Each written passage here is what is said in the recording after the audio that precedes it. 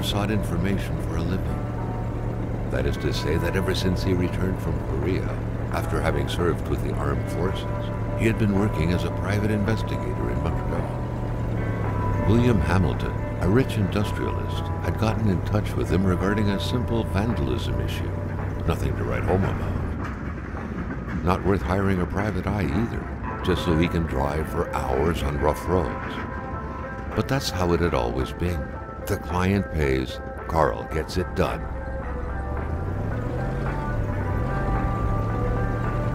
They had set up to meet at the general store, his client's business. Well, actually, the entire village had William Hamilton's name written all over it.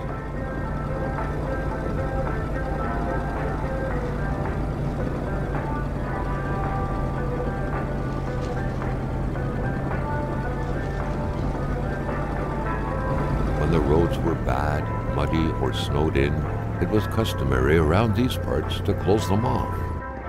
But it was also customary to ignore those signs entirely and drive there anyway.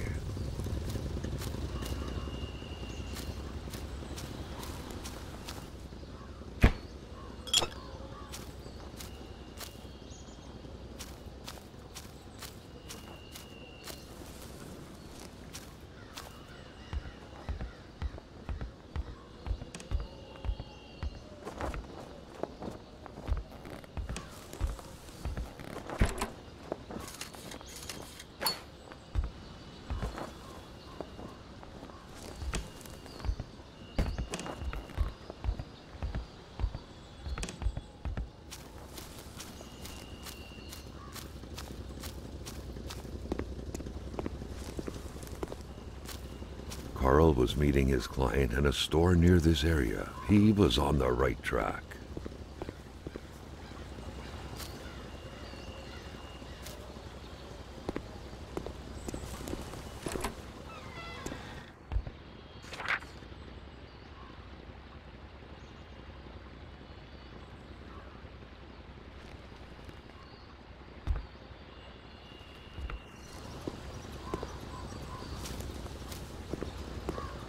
Hamilton never mentioned a road blocking barrier.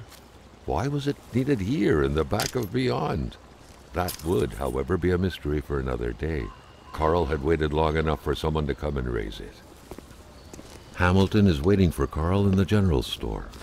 It was time for him to get down to business.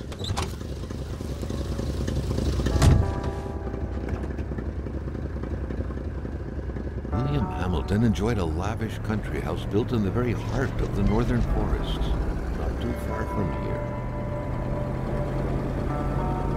The local populace was divided when it came to the affluent man. Some saw a wealthy philanthropist dedicated to improving the region's economy. Others an aging Englishman who would do anything to further his fortunes. And those ones hated him enough to go on about scheming against him. Hamilton had recently acquired a few local businesses, but the last straw was the reopening of a mine, which gave rise to a wave of protests and threats from the Cree people. Given these circumstances, Carl reckoned that a good number of people must be feeling compelled to oppose Hamilton in one way or another. So far, only the industrialist's house had been a target, but soon enough, Carl thought, the target would become the man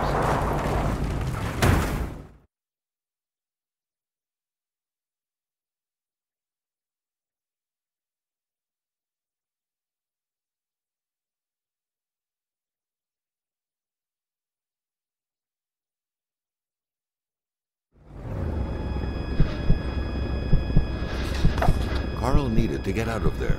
The cold and the pain required urgent care.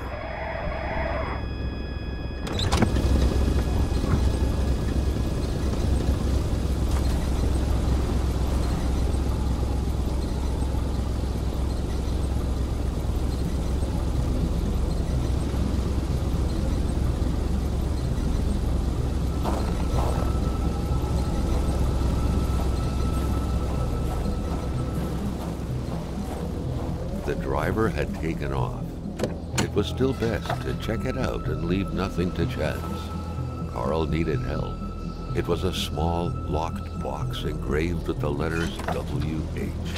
Carl thought about taking it. Nothing was to be left to chance. Such heart-wrenching Nordic poetry that was. But Carl didn't care much about flowery language.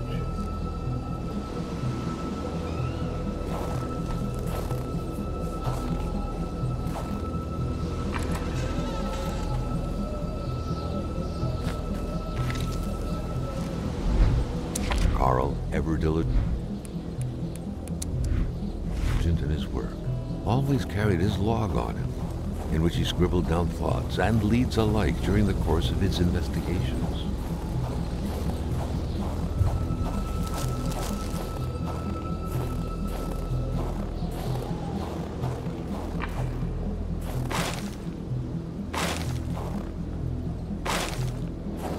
It was so cold. Already Carl did not feel his toes anymore. Better than he had hoped. Carl Faubert had succeeded once more and was now on his way to new adventures.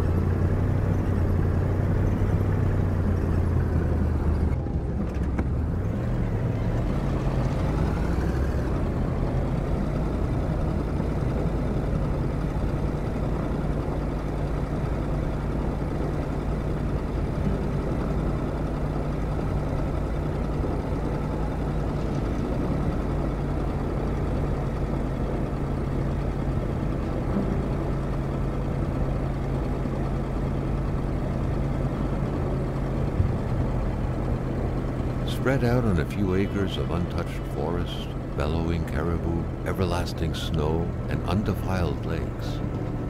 The Manistan region was no tourist hub. It was said to have been populated for millennia by Cree people, and ever since the industrial era, by the metal mining industry.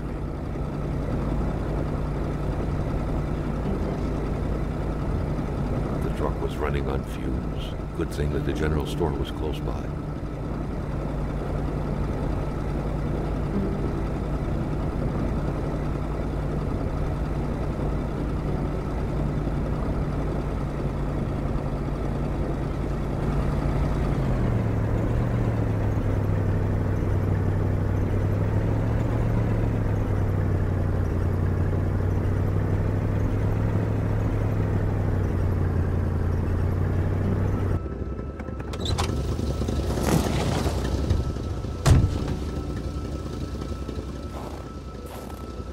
Wouldn't surrender their divine nectar so easily. In all likelihood, they had to be switched on from inside the store. A milkman had to drive by every week to fill the bottles. The fresh milk indicated a recent visit. A milkman had to drive by every week to fill the bottles. The fresh milk indicated a recent visit. Carl had no trouble recognizing his employer. He had been killed. There was no need to be a detective to figure that out. But only a detective could have noticed that the killer had to have been very close, that the fatal blow had been given before the victim even realized.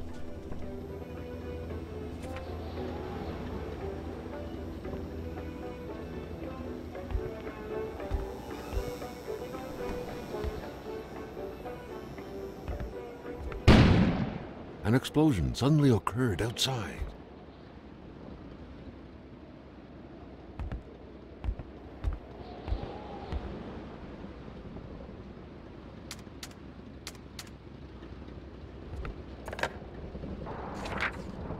Snowstorm pummeled everything in its path.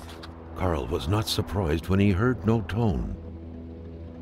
Carl knew that Gilles Lachance was in charge of the general store. That made him one of Hamilton's employees. A very angry employee, as Carl could plainly see.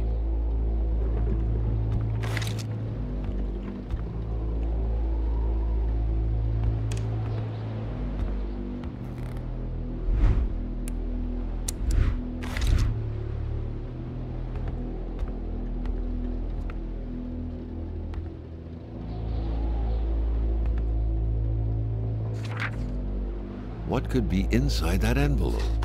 Carl was taken aback. He knew this address. It was said to be the address of the P.O. box for the Canadian Secret Service.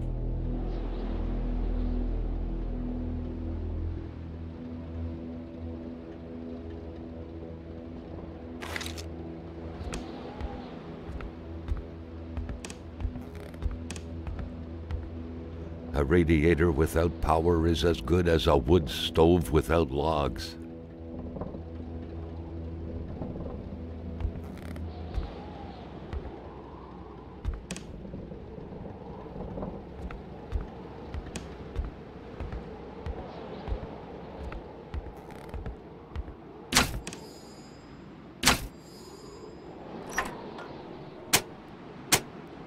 The note explained that the garage and the store couldn't be supplied with electricity at the same time.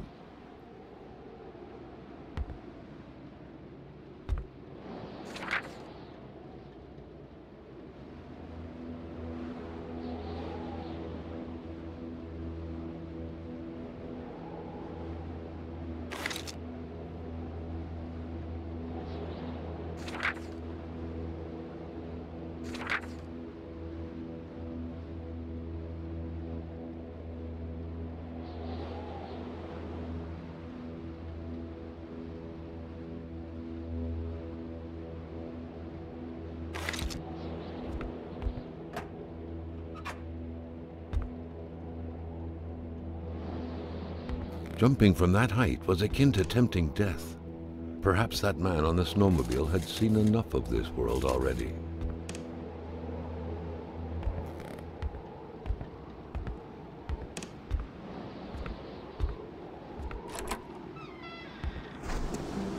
Maintaining his composure, Carl recalled something from his military training.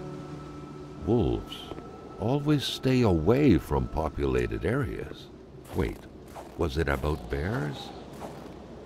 Carl was no electrician, but he could identify a wiring problem when he saw one. Hate was in the air. Seems like some villagers barely tolerated each other.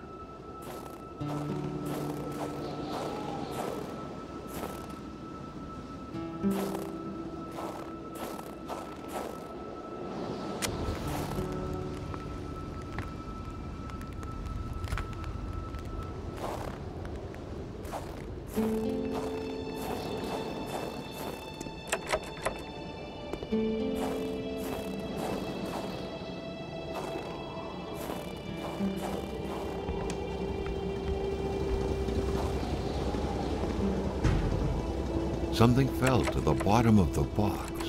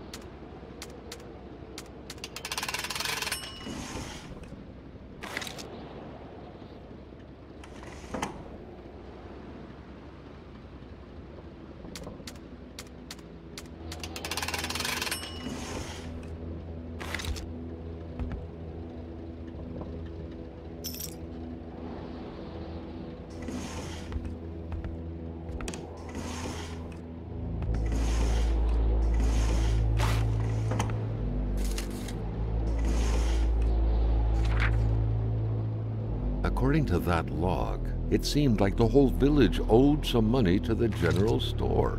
Carl was far more interested in the bunch of nearby addresses he had just gotten his hands on, though.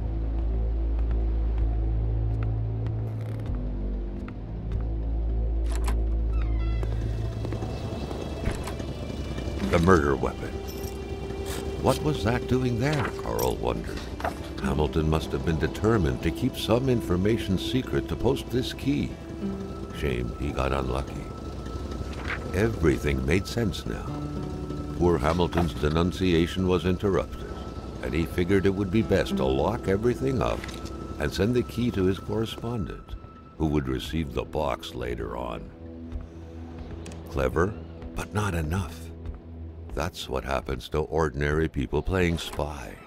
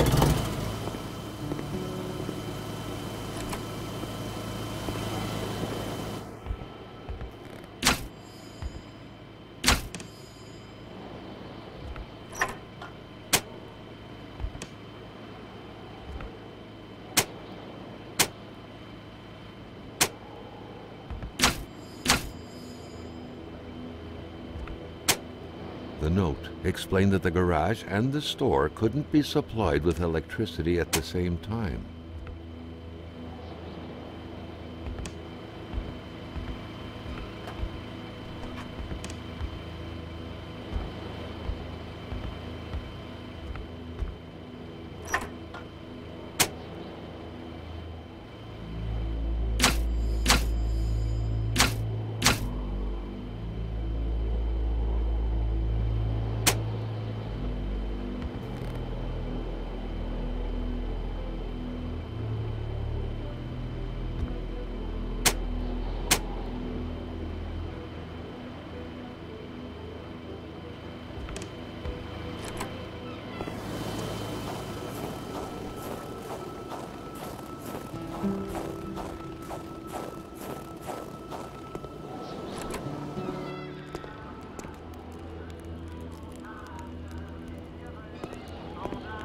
The was stuck under the lift.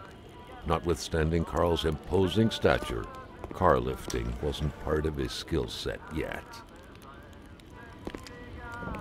Carl was making progress, but the lift probably needed some more juice to work properly.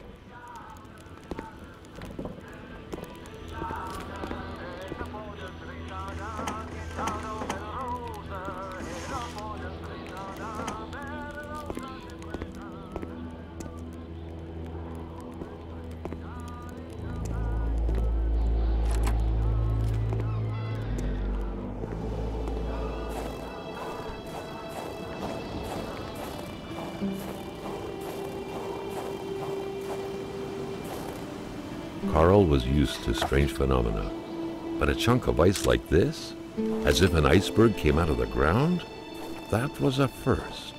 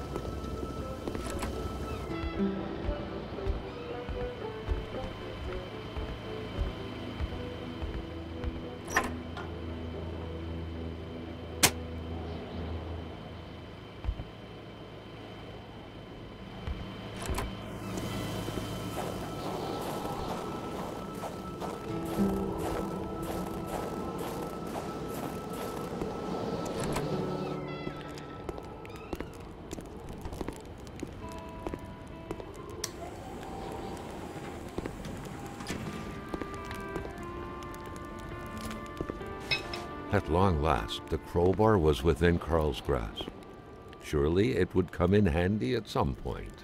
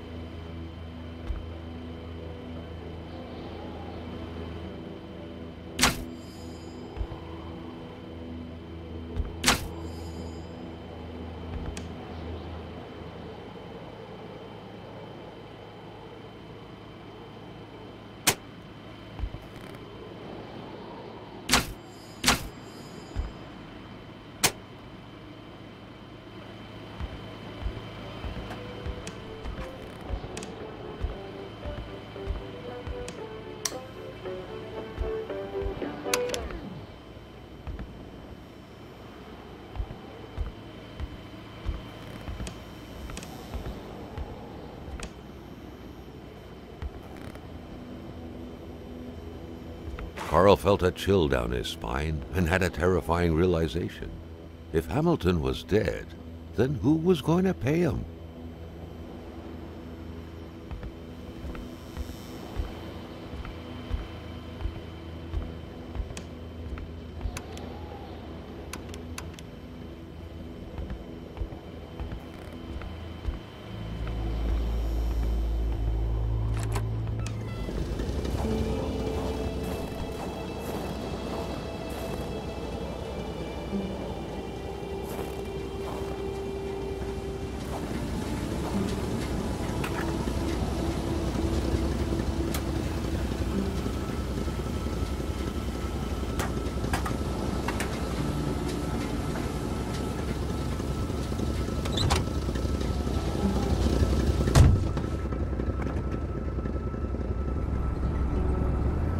Knew straight away where to find the infuriated Gilles Lachance. Any good investigation would have to start there.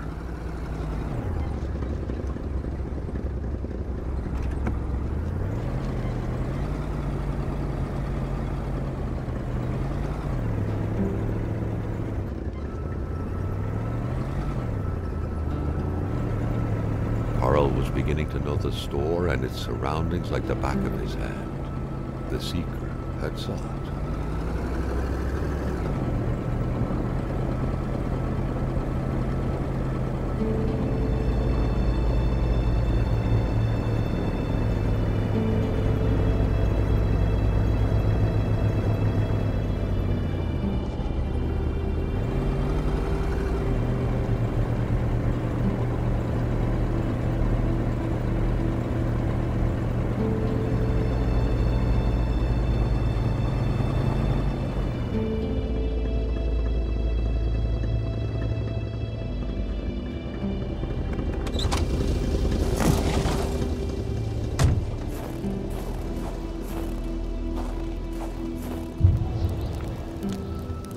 Crossbow bolt stuck into the wooden stairs reminded Carl of the arrow that was said to have hit Achilles' heel.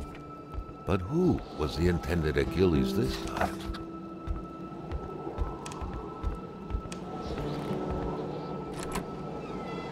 The air was freezing, right down to the bone. Was that the Lord Almighty's doing? A huge block of unnatural, glowy ice had swallowed that poor woman's body. What sort of supernatural force could have conjured this?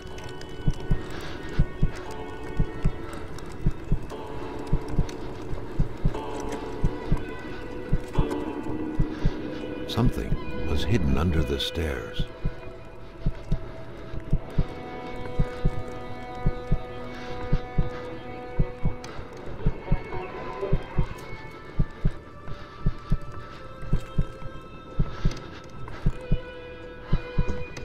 Man grabbed his rifle. Carl felt a sense of dread in him.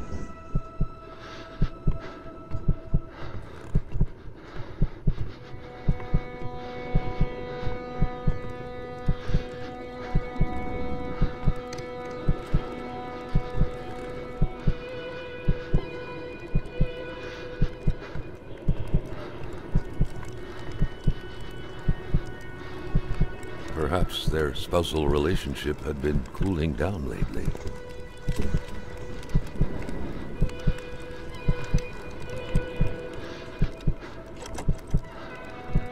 It seemed like secrecy was commonplace in this house.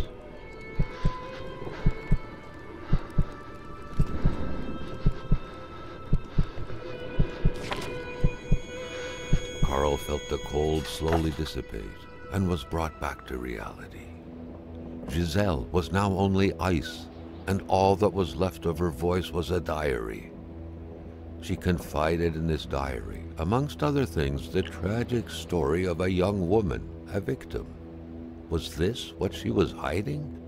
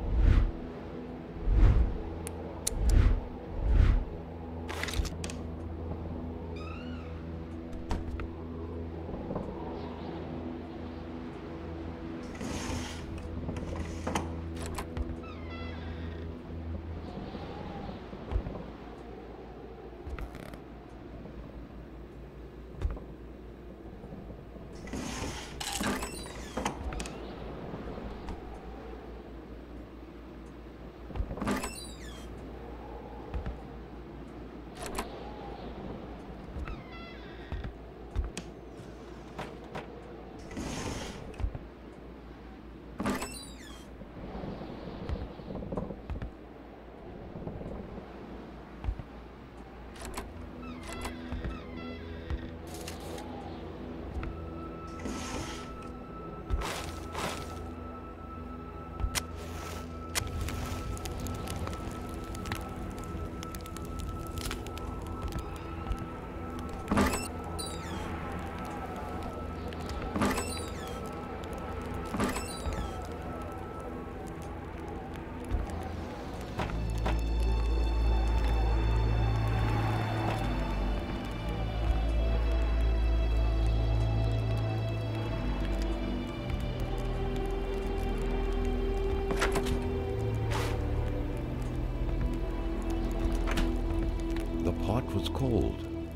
and the stew inside wasn't cooked. It's likely that poor Giselle was slow cooking it before she got snapped. What a waste. Ah, moving. What a pleasant activity. Of course, you'll find the record player only to find the records weeks later in some random box. Carl had seen that kind of safe before. With its double-layered security system blending letters and numbers, its code couldn't be broken by the common burglar. The general store, along with several more infrastructures in the area, had been acquired by wealthy industrialist William J. Hamilton. Perhaps the village should be rechristened Hamiltown.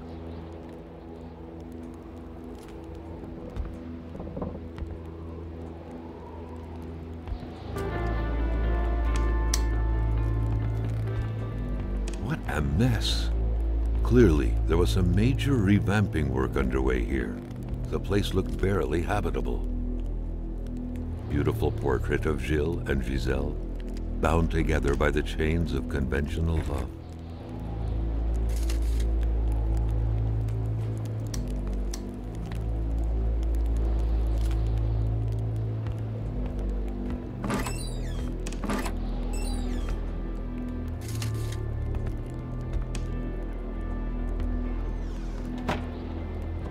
Many boxes scattered about. Carl didn't need to summon his detective training to quickly figure that the Lachausses had just moved in. A nice white coating would restore the room to its charm of olden days.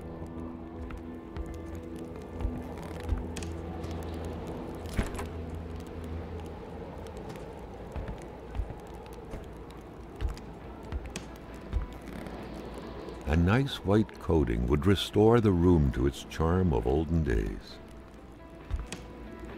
Many boxes scattered about. Carl didn't need to summon his detective training to quickly figure that the Lachausses had just moved in.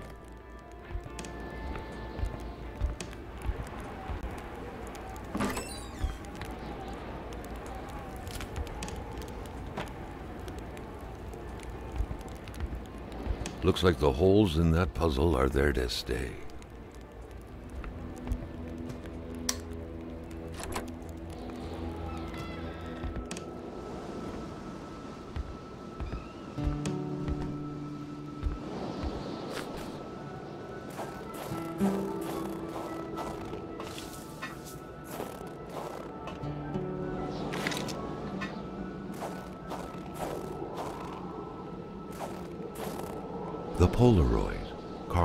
Carl's long-standing and faithful ally, had seen its share of husbands caught red-handed cheating. There's always something out there waiting to be snapped away.